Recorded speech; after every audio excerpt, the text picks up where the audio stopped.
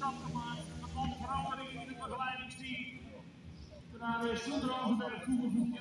Rozenberg, noem maar de toon van de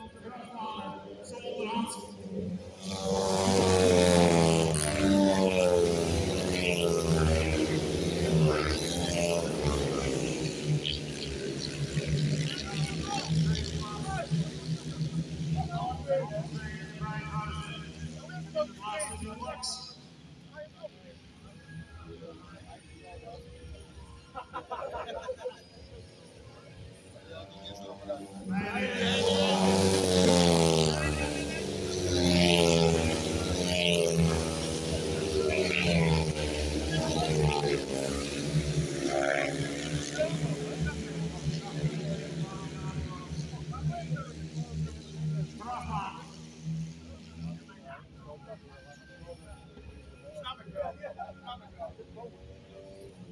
Thank